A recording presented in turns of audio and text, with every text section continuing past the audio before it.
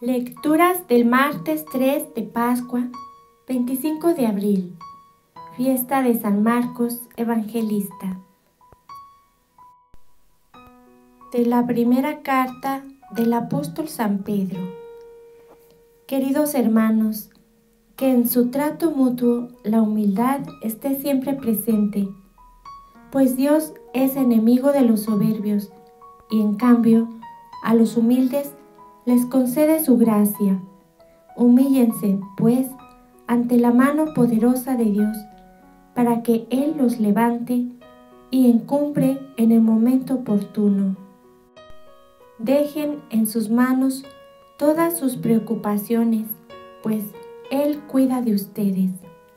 Estén alerta y no se dejen sorprender, porque su enemigo, el diablo, como un león rugiente, anda buscando a quien devorar.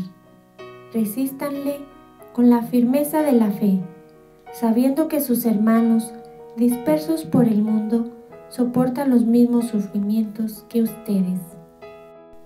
Dios, que es la fuente de todos los bienes, nos ha llamado a participar de su gloria eterna en unión con Cristo, y después de estos sufrimientos tan breves, los restaurará a ustedes, los afianzará, fortalecerá y hará inconmovibles.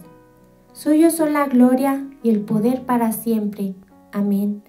Por medio de Silvano, a quien considero hermano digno de toda confianza, les he escrito esta breve carta para que sepan cuál es la verdadera gracia de Dios y animarlos a permanecer firmes en ella. Los saluda la comunidad de Babilonia, a la que Dios ha elegido lo mismo que a ustedes. También los saluda mi hijo Marcos. Salúdense los unos a los otros con el beso fraterno. Les deseo la paz a todos ustedes, los que son de Cristo. Palabra de Dios, te alabamos Señor. Del Salmo 88. Proclamaré sin cesar la misericordia del Señor. Proclamaré sin cesar la misericordia del Señor y daré a conocer que su fidelidad es eterna, pues el Señor ha dicho, mi amor es para siempre y mi lealtad más firme que los cielos. El cielo, Señor, proclama tus maravillas y tu lealtad la asamblea de los santos. ¿Quién se compara a Dios sobre las nubes? ¿Quién es como el Señor entre los dioses? Señor, Feliz el pueblo que te alaba y que a tu luz camina, que en tu nombre se alegra a todas horas y al que llena de orgullo tu justicia. Del Santo Evangelio según San Marcos. Gloria a ti, Señor. En aquel tiempo se apareció Jesús a los once y les dijo, Vayan por todo el mundo y prediquen el Evangelio a toda criatura.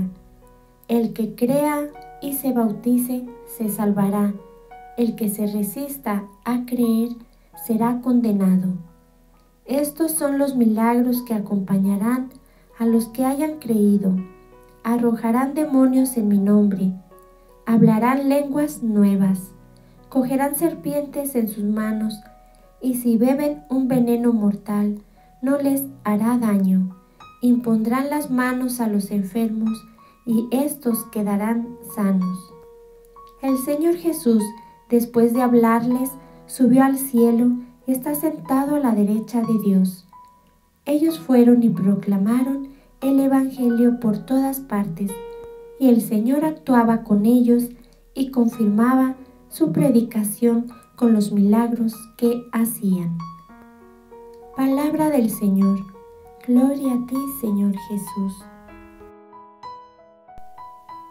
Gracias Señor, bendito seas. Gracias por un nuevo día, por el despertar.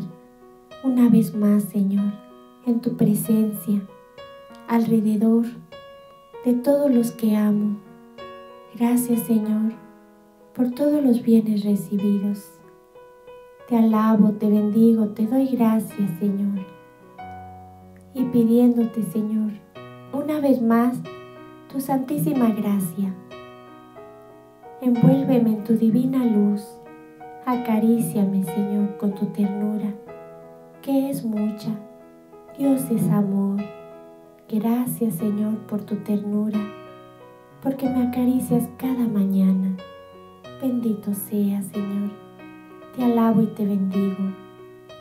Abre mis oídos, Señor, para estar atenta a tu voz, para cumplir tu voluntad el día de hoy. Me entrego a ti, Señor, con todo lo que tengo, con todo lo que soy. Acepta, Señor, mi humilde ofrenda, mi vida, Señor. Gracias, Señor, por tus dones, por tu gracia, y que todo vuelva a ti, Señor, como un incienso que suba hasta ti y pueda ofrecerme a cada instante y momento y unirme al santo sacrificio del altar, a cada santa misa y todo lo que haga sea por Cristo, con Él y en Él. A ti Dios Padre Omnipotente, en la unidad del Espíritu Santo, todo honor y toda gloria, por los siglos de los siglos. Amén.